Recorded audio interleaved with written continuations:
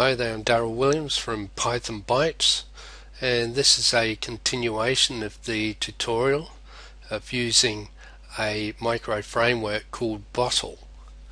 Now in the last tutorial we created our template, the base template, which was in the to-do views folder and then we stored our CSS code in the to do static CSS folder. Okay, so uh, what I'll do is I will start the server. So I go to start to get the command prompt. I go CMD. I go at the top here, left click to open it. then I go up here to the to do folder, right click, go copy address as text. Then I go CD which means change directory. I paste that there which will take us to the to do folder. Then I'll go Python. So I'm saying Python can you open the server file? I press enter and there's an error. Now I knew about this error but I wanted to show you the uh, the debugging functionality of Bottle, which helps. And I saw this after I did the previous tutorial. Uh, and I'm not embarrassed about it because I hope you picked up on it. Because if you did, it means you're aware or familiar with the Python code and you can find what the problem is. Okay, and this is the problem here. I've got debug equals true but I've got this from a previous code or I typed the wrong. So I remove that and save that. Control S on my keyboard to save it then I go back here and the server isn't running so on the keyboard I'll press the up arrow key and that will bring up the previous code that I put on there. Then I press enter and I have another one index line 4 def index. There's a plus sign there. Line 4 don't know how that got there. So Bottle does help you debug your code which is great. So we're back here again. Up arrow key on the keyboard. Press enter. Another line. Ah you have to have a comma there to separate the code. Right, uh, Control S save. Try one more time. Up arrow key on the keyboard, press enter. Yes, it's working. Okay, the server is running and where we want to stop it we'll press the control C button I'll do that now and it'll stop the server. Up arrow key for the previous code, press enter and the server is started. And then we'll go in here, go local host and it's port port 880 our host is local host so type that again yep click that and here we go. The server is now delivering web pages. Okay now if I click home I'll go new. Okay I click that. 404 not found. So we don't have a function with a route forward slash new. If we look at the code here all we've got is forward slash test and forward slash on its own. Okay, so we don't have a new, which will be a new to-do list. Uh, that'll have. Well, I'll show you how to do that later on. But I'm just getting you familiar with the routes. This is the interaction between the website, uh, the address up here, the URL of your the web page that we've requested the new web page but it doesn't exist. That's why we got this error. It couldn't be found. So go back. Uh, the next problem is uh, the we don't have a decent design. We're not using the CSS file.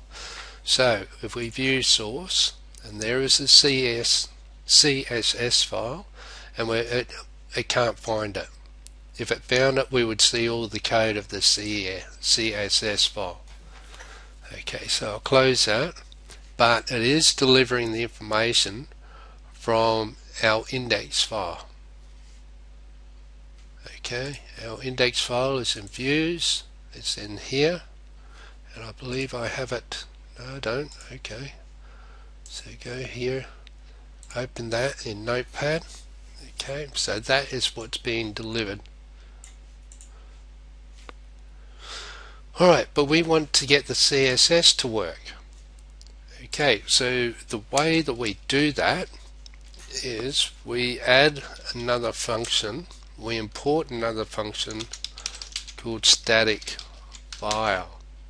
And this is so that we can access go back here the static folder and our CSS we would also use it to access images our JavaScript but at the moment we want this CSS file. So going back here we import from bottle static file. And we start a new route. I'll just copy this because it just makes it a little bit quicker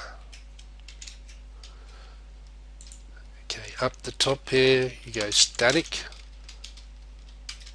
Static so it's saying in the static folder I want you to go to access file name dot path. So we'll provide the path after static what file we want to access, uh, access or request to be shown on our web page. Then we go send static. And here it's not template it's static underscore file. And we have here file name, comma, and then we go root equals. Go across here root equals dot static forward slash.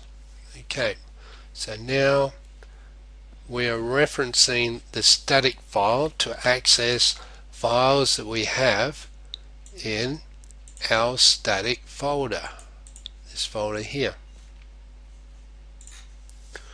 So save that. But now now that we've got that I open our views base template open that and up here just before I do yeah okay okay here I'll go now this is what we've uploaded. Uh, this is what the server is generating, the web page, and I do refresh and nothing changes. And I'll view source, click main CSS, nothing there. Okay. Now also the server is running. So what we're looking at here is with the server code we have a reloader set as true so that any changes that we make in our code it will be reloaded so we don't have to close uh, shut down the server and start it up again okay so now in the base base template here we have base dot tpl the base template we go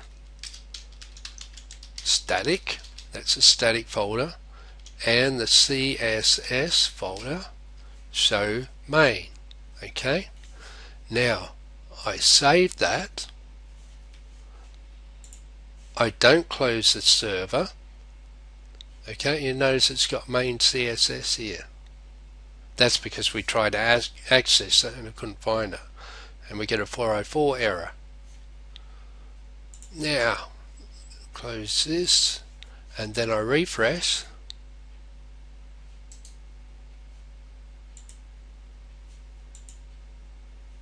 Ah what's going on there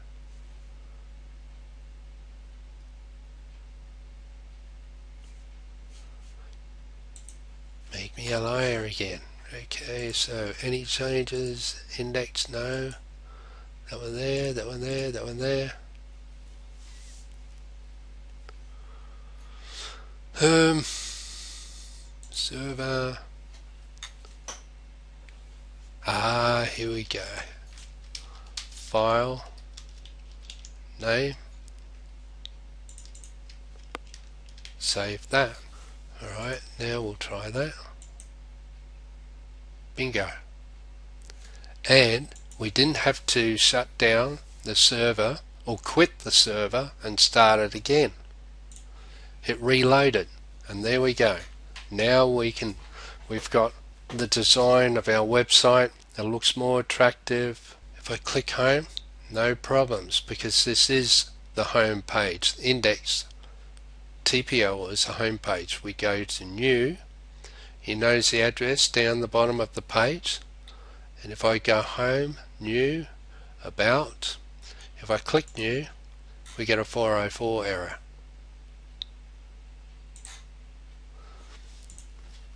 Okay so that's it for this tutorial. It's all done. We now have our template working. Now we can start working on our routes to get some functionality in our to-do list application. If you have any uh, comments or questions about this uh, tutorial please leave a comment below this video. Uh, if you haven't already subscribed to the channel please subscribe. There's a little logo on the on the right hand side bottom right hand side of this video. Just click that and you can subscribe to my channel I'm Daryl Williams from Python Bytes. Till the next tutorial goodbye